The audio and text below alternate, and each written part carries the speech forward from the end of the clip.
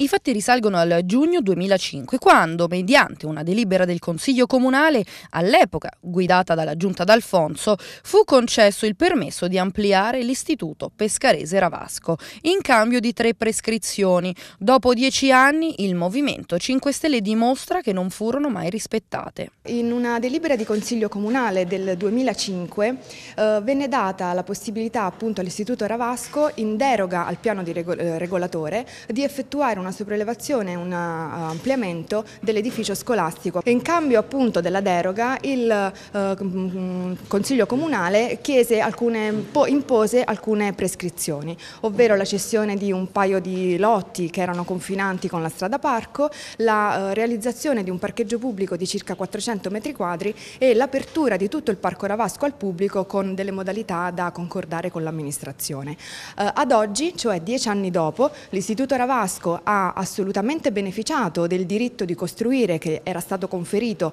eh, dal, dalla delibera di Consiglio Comunale, ma non ha ottemperato agli obblighi che erano degli obblighi per la collettività, cioè non ha svolto ciò che il Consiglio Comunale aveva deliberato di fare a vantaggio della pubblica amministrazione. Una inottemperanza che potrebbe costare caro all'istituto religioso, comportando anche l'ingiunzione alla demolizione della nuova porzione realizzata. Noi chiediamo quindi adesso all'istituto Ravasco, sia per quello che rappresenta come appunto un edificio scolastico e come centro di educazione e di formazione dei nostri figli, dei cittadini, di ottemperare a ciò che la legge ha chiesto, ovvero la realizzazione di questo parco pubblico, eh, l'apertura di questo parco pubblico e la realizzazione di questo parcheggio ha destinato proprio alla collettività che lo chiede da tempo.